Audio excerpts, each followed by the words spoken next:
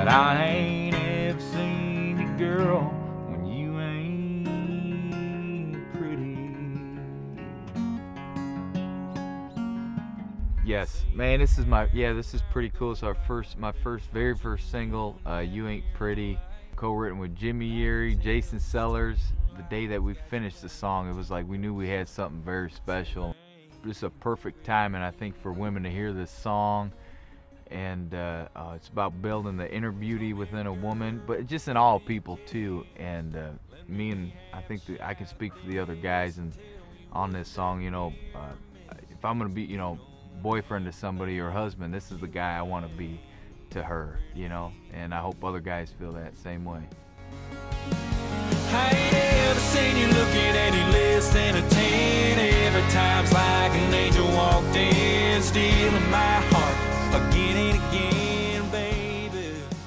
Yeah, we just got done finishing the, the music video for You Ain't Pretty. Um, this is my first music video I ever shot in my life, and it, it was an amazing day uh, for me. The whole cast, every, every all the everybody that was there, it was just an awesome, awesome day. But me, just personally, you know, dreaming about doing this my whole life, you know, and being able to have this moment is an amazing day. I'll never forget it. And plus, I got my tire slashed that day.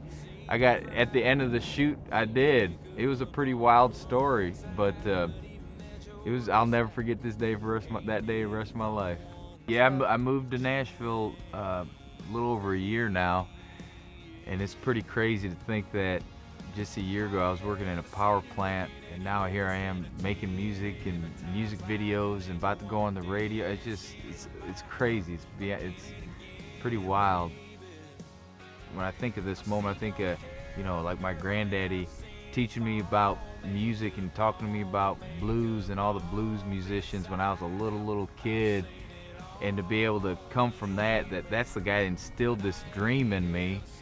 And then years later here we are I'm about to have my first single out to radio. I just you know I just think about those times and thank God my granddaddy did that with me you know as a kid because here we are crazy I've seen your hair girl and I've seen it fall all right, so yeah, the collection coming out in 2021. Uh, the EP, uh, it's I got to thank Mickey Jack Cones. I got to thank Derek George. Those are my producers on this record. I mean, they were just unbelievable.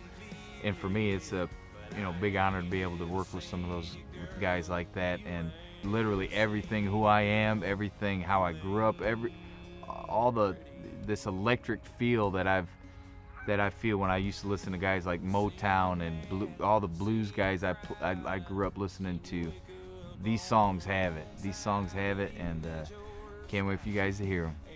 Well, looking looking at this uh, next year, um, and all the stuff that's happening, kind of brings me back when I was, uh, you know, my 10-year-old self dreaming about this, staying up late at night, never could sleep, just thinking about if I could ever have the chance and opportunity to be able to do music as a career, and here we are happening. It's just, um, if I could go back and kind of talk to that kid and kind of say, man, look, you ain't got nothing to worry about, and uh, just keep dreaming, keep working, and keep believing in yourself, keep believing, trusting in God, and and uh, quit taking yourself so serious, and just go for it, and quit thinking about what everybody else is thinking about you. Just keep living your life as if this is going to be your last day here and just live like that and believe in yourself and and quit worrying and let it happen. Just forgive and let it happen.